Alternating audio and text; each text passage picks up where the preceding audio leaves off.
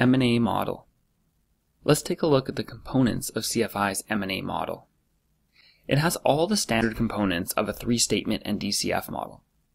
In addition to that, it's got operating scenarios for both the target and acquirer companies.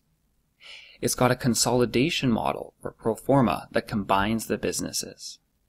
It also has transaction assumptions such as synergies, financing, takeover premium, sources and uses of cash, and many other things. It performs accretion and dilution analysis to assess the impact of per share metrics. It has sensitivity analysis to see how sensitive the model is to changes in inputs. Finally, it calculates the internal rate of return of making the acquisition and assesses the potential share price impact for the acquirer. Let's look at the purpose of the M&A model. Why should it be used? Well, it should be used to value a target business, to determine how much to pay for an acquisition, to compare forms of consideration such as cash and shares, as well as to evaluate synergies and takeover premiums, and assess the net impact of the acquisition on the acquirer. Relevant courses for this model include business valuation modeling and the M&A modeling course, which teaches you how to build the model step by step. Let's look at the model and explore it in more detail. Here we are inside the M&A model. We're on the cover page, and as you can see, there are several other sheets inside this workbook. They're outlined in the table of contents. The easiest place to start is with the target model.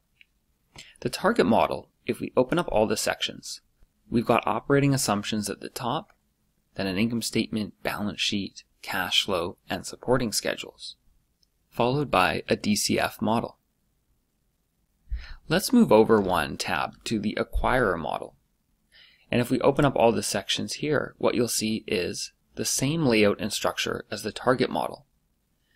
It's got the income statement, balance sheet, cash flow, supporting schedules, and DCF, and it actually mirrors exactly to the target model. In the course, we show you how to make the two financial statements match. And what that does is it allows us to easily consolidate the acquirer and the target into one pro forma model. But before we explore the pro forma model, let's move over to the deal assumptions. Let's open it up. And here we have all the transaction assumptions. We have operating scenarios here and financing scenarios. We've got sources and uses of cash, goodwill and purchase price allocation here, and all of these assumptions, plus the target and acquirer models, enable us to create a closing balance sheet. The closing balance sheet takes the acquirer and the target, makes all of these adjustments based on the assumptions up top, and arrives at a consolidated balance sheet. The consolidated balance sheet then allows us to drive the pro forma model. So the full pro forma model, as you can see here, is based on the closing balance sheet. So essentially, you start with the target model, then you have the acquirer model, you combine those with assumptions and create a pro forma model. Once the pro forma model is built, we can perform the accretion dilution analysis, which is on this worksheet here, and we can see what the impact is to key per share metrics such as earnings per share, cash flow per share, and the actual share price itself. This advanced M&A modeling course will teach you how to build a model step by step from scratch. In terms of how to actually use the model, once it's built, you can start experimenting with scenarios. We're currently running scenario 4, which is pulling all of this information here, including a 25% takeover premium and 50% cash consideration. If we scroll down to see what the pro forma impact is, on the intrinsic value of the business, we see that this is actually slightly accretive to the acquirer by 6.4%.